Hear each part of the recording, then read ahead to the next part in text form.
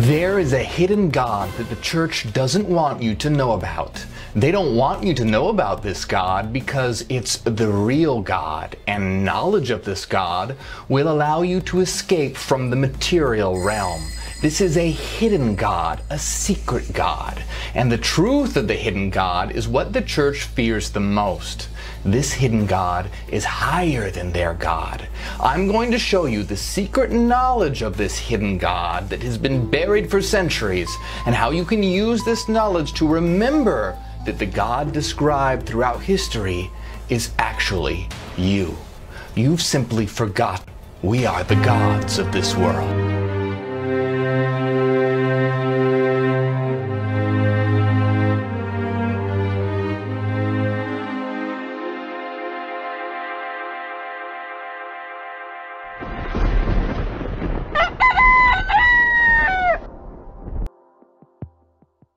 There is a hidden God that the church doesn't want you to know about. They don't want you to know about this God because it's the real God, and knowledge of this God will allow you to escape from the material realm. This is a hidden God, a secret God, and the truth of the hidden God is what the church fears the most. This hidden God is higher than their God. I'm going to show you the secret knowledge of this hidden God that has been buried for centuries and how you can use this knowledge to remember that the God described throughout history is actually you. You've simply forgotten, but you've left yourself clues all around so that you can remember, and we're going to uncover them right now. Does this sound hard to believe, crazy? Well, what if it's true? I know you felt like this place is very strange, very wrong, that there's something not quite right with this world. What if that's because everything you've been told is a lie? And you aren't what you think you are. Let's discover the clues and the hidden God, the God that the church doesn't want you to know about. There were a group of Christians known as Gnostics that knew about this hidden God, but they were persecuted as heretics and blasphemers, and their books were banned from the Bible. Gnostic means knowledge, and Gnostics were dedicated for searching for enlightenment in secret and hidden wisdom, and this seriously threatened the power of the church. In an effort to unify the empire and control the people, the Roman Emperor Constantine made made Christianity the state religion. In short, in the Council of Nicaea in 325 AD, it was decided what would be the official doctrine of Christianity, and Gnostic teachings were outlawed. Knowledge that could liberate you would, of course, be anathema to a system of religious control. I'm going to show you how exactly the hidden God is you, but first you have to know something about Lucifer and Satan. You see, mainstream Christian doctrine would have you believe that Satan and Lucifer are the same being.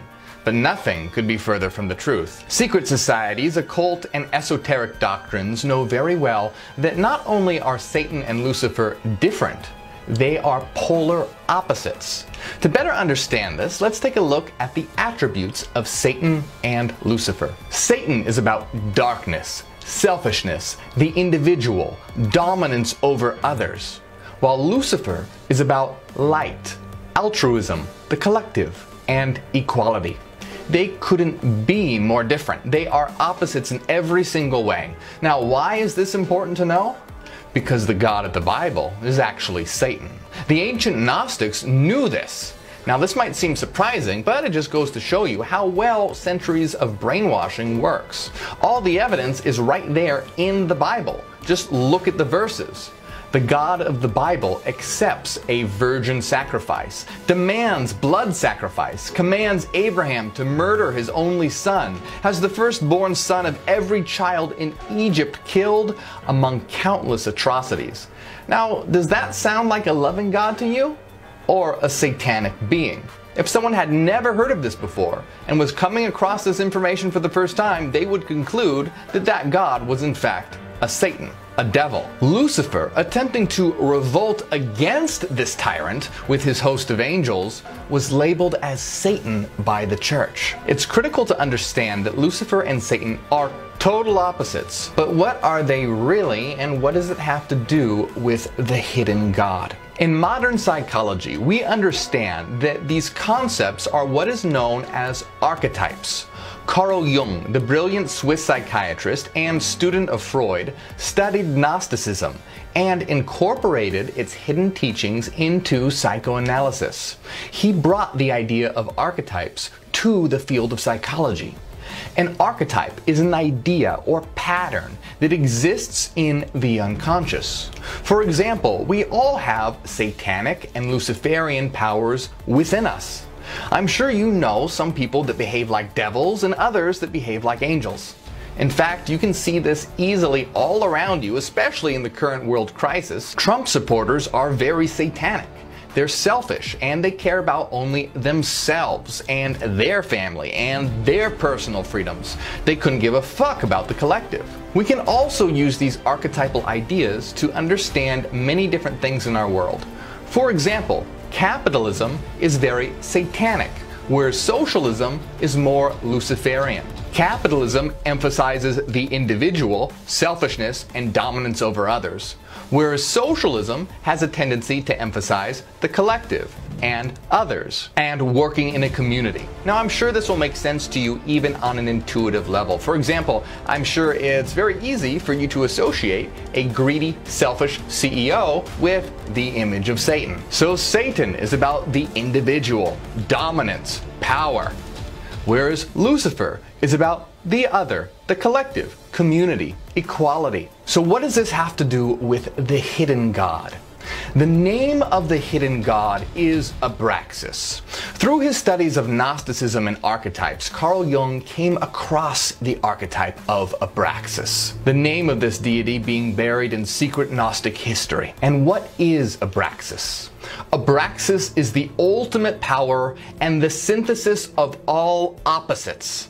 Abraxas is Satan and Lucifer combined, and thus higher than them both. Abraxas is all things. Abraxas is beyond God and the devil, beyond good and evil, because it is all of these things at once. It is all forces. Carl Jung wrote, Hard to know is the deity of Abraxas. Its power is the greatest because man perceiveth it not.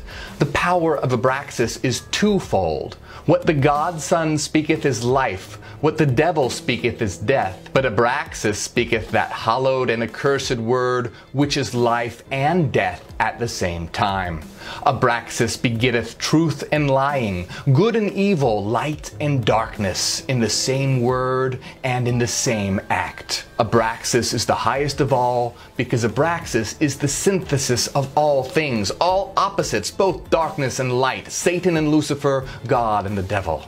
Abraxas is all of these and above them all. It is the archetype of what Friedrich Nietzsche called the Übermensch, or superhuman, one that is beyond the concepts of good and evil. But the truth is that you are Abraxas. Do you not have the power of both good and evil, light and shadow, truth and lives, God and the devil within you? But it goes much further than this. You are literally the creator of this world. You have simply forgotten. So, how can you remember? You see, the world is not what it seems. The material world is an illusion, and the Gnostics knew this very well. You aren't a body at all. You are an eternal mind called a monad. Now, a monad is an eternal system of mathematical frequency patterns. And each one of us is an individual eternal monad. And our bodies are simply avatars that allow us to explore and interact in the so called material world that we call the holos. Before space and time, before the Big Bang, before the material universe, all of us, as eternal monadic minds, existed in a perfect realm of pure mind called the Source. The Big Bang was when this perfection shattered and the material realm was generated. The material world isn't material at all. It's a shared mathematical dream generated by the monadic collective the collective of all minds. And when the material world is generated, a forgetting takes place. The esoteric book of the Kybalion says that this process of forgetting is similar to the mental process of an artist, writer, or inventor who becomes so wrapped up in his mental creation as to almost forget his own existence, and who, for the time being, almost lives in his creation. Think of it like being an artist that creates something and being so wrapped up in their creation they forget that they are the artist and think that they are the creation. Think of it like being the author of a book who becomes so lost in their work, so enveloped in the story, that they forget that they are the author and believe themselves to be one of the characters. You see, this world wasn't created by some kind of creator God. It was mathematically generated by us. It's a shared, collective, objective dream. But just like in a dream, we simply forgot. We are the gods of this world. But how can you remember? The great philosopher Hegel understood this secret. Hegel believed that this existence is an evolving mind. He came to understand the secret of this world. And he understood that the evolving mind of reality generates this dream world to come to know itself through itself. You see, a dream world has to be generated in order to wake up.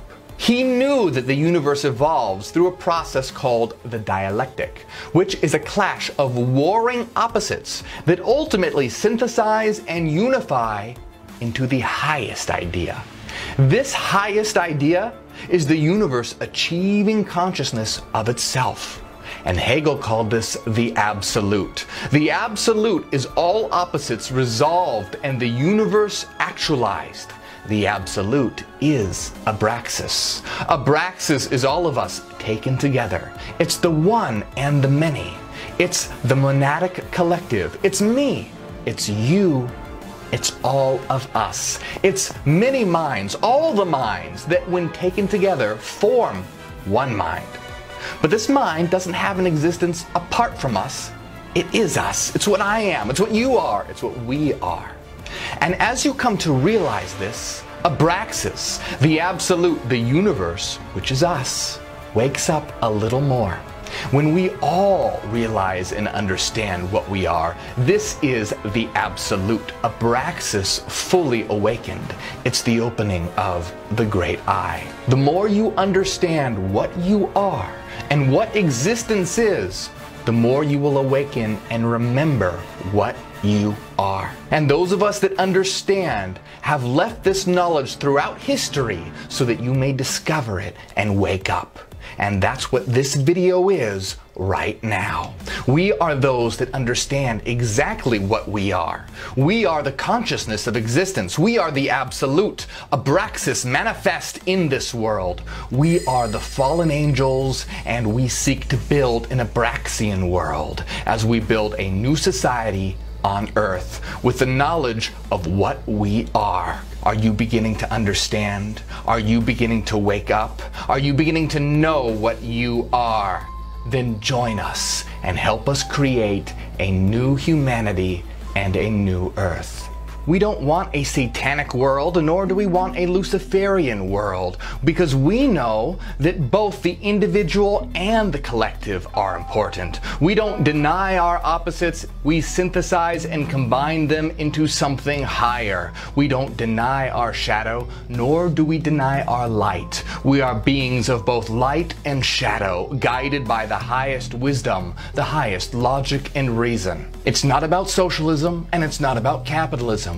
It's about something higher. A third idea that synthesizes the best of both and creates a meritocracy, an Abraxian society, a world in which the individual and the collective are important, a world in which compassion, logic, and reason rules, a world in which we teleologically strive for a maximization of consciousness and actualization. What is the goal of capitalism? What is the goal of socialism? They have no goals.